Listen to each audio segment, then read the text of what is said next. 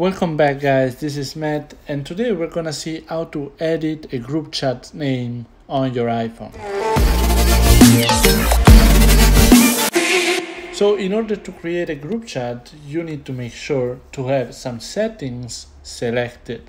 So first things first, let's go to settings.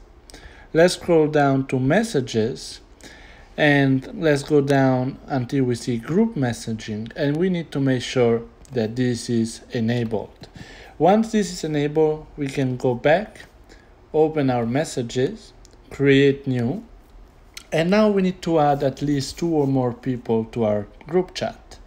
So we can do so by inserting the name or a phone number or by clicking the plus button where uh, it's going to bring us to our full contact list.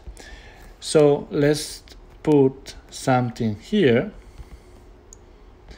And once uh, we have entered our contacts, so the uh, participants of the group, we just need to send the message. And once the message is sent, we are able to click on the group on the top of the page when it says two people, there is an arrow. If we click, it goes down. We can click the I uh, button where it says info. And in this tab now we can click change name and photo so we can now change uh, the group name and say for instance friends and click done.